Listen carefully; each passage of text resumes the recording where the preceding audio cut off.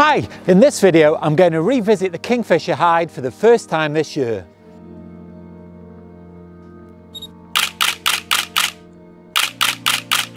So I filmed this video over the course of about three weeks. The first time that I visited the hide, I did a little bit of restoration because the hide had sat for about three months without me using it, but I did manage to get a few shots of the kingfisher and a few shots of a heron.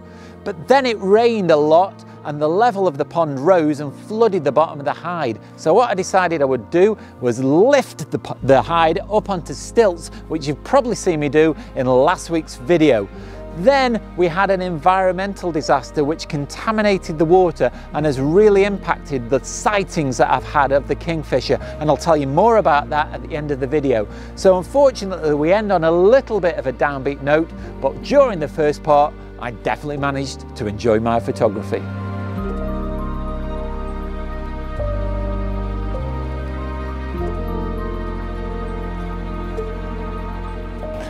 I didn't expect to be at this location again so soon, but the owner has been in touch with me and said there's been sightings of the kingfisher again. So just behind me here is a hide that I put up and over the summer I got about five videos from this location um, and some really, really cracking pictures of a kingfisher. So I've been down this morning to check whether the hide is still in a good state and it is. And I've also been out onto the um, pond and broken the ice around the perches so that's all ready so I've just got a bit of setting up to do inside the hide and then we can get on and try and get some pictures. The hide itself is a corrugated um, archway. I think it was used for pigs originally.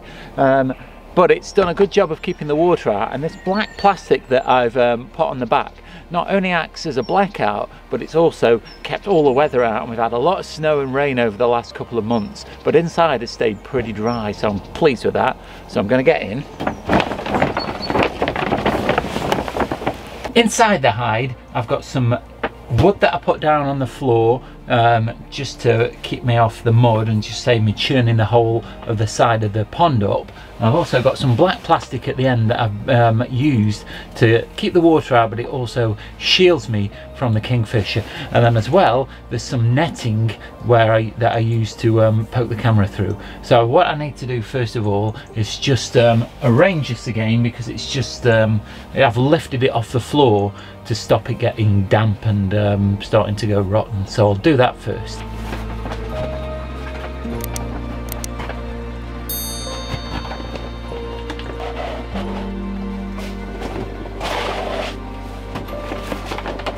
So what I need to do next is bring down the foam pads and install those, then make it a little bit warmer and more comfortable to sit on.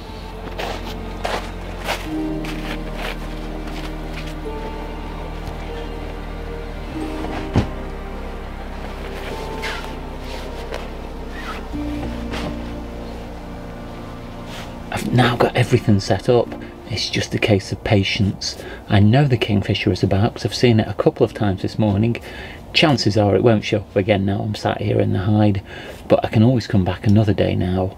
Um, now I know the hide is back in a, a usable condition.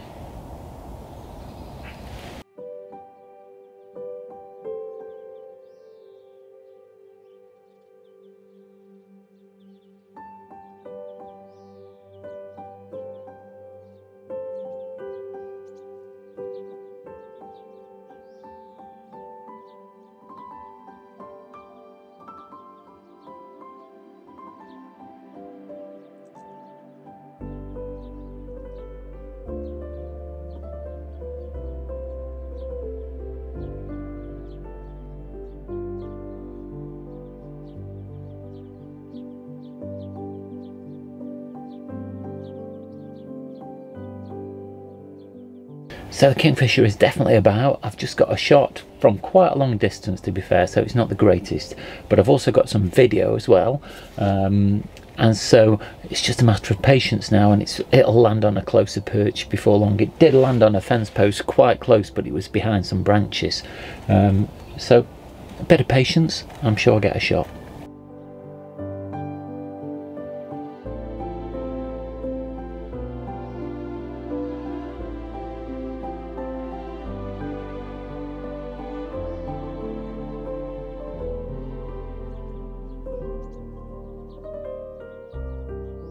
Well, a double bonus. I've just got some nice shots of a kingfisher, and as the kingfisher flew off, a heron came down and landed on the pond, so I've got a few shots of that as well.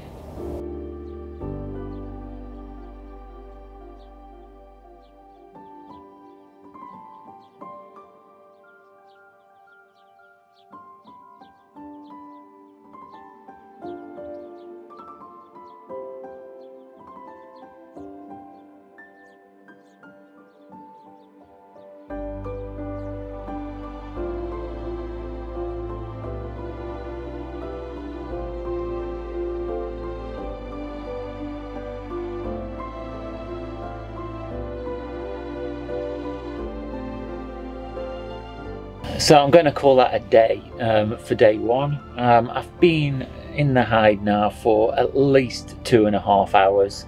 Um, I've got some reasonable shots, nothing spectacular, um, but I have definitely proved that the Kingfisher is still about and it's been actually quite active. This morning I've seen it lots, but just unfortunately every time I've seen it, it's tended to land behind a twig or very far away from where I'm sitting and so I've just not managed to get a really really good picture but if I come down another day I'm sure I'll have better luck.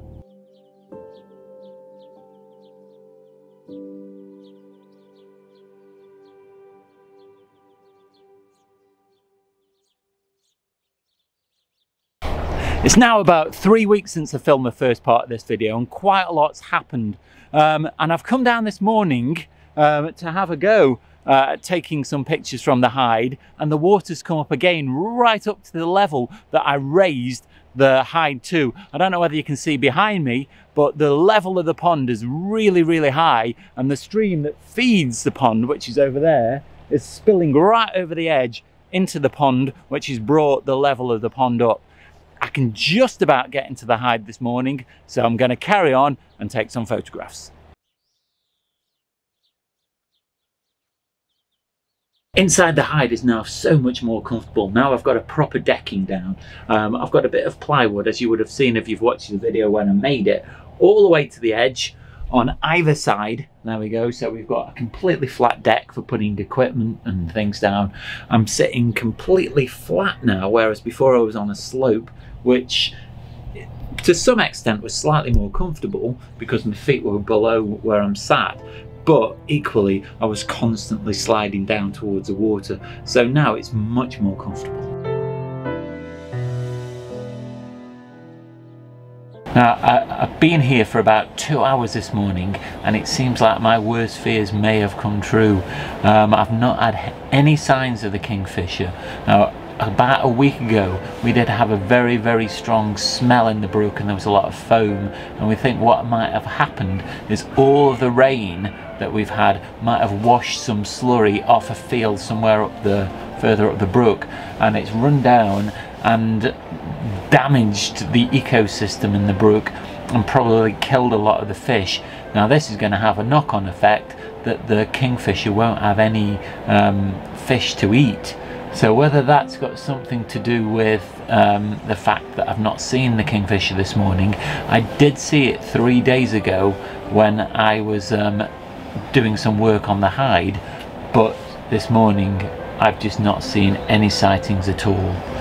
So hopefully the ecosystem hasn't been damaged irreparably and it will start to recover again.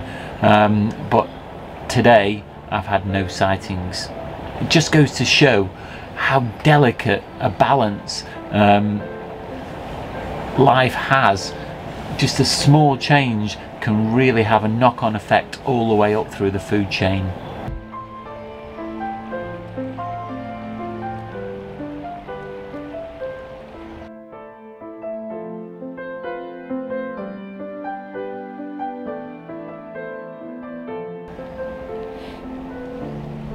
I'm going to have to end this video on a sad note unfortunately. Let's hope that the kingfisher is still about and just hasn't shown up this morning and that the fish stocks haven't been too badly depleted. The Environmental Agency has been contacted and are looking into the source of the contamination. Fingers crossed that things get back to normal in the next few weeks. I'll keep an eye on the pond and keep in touch with the owner to see whether the kingfisher does return. It doesn't quite seem appropriate today to end this video in my normal upbeat manner, but as always, you can check out my Instagram, that's at the Oakden Photography. There you can see sneak peeks of photos before they go into videos. You can also message me there and down below in the comments. Don't forget to click like, subscribe, and the bell notifications. Watch out for next week's video, that goes live at 4 o'clock on Sunday. But all that's left now is to keep our fingers crossed, stay safe, and I'll see you soon.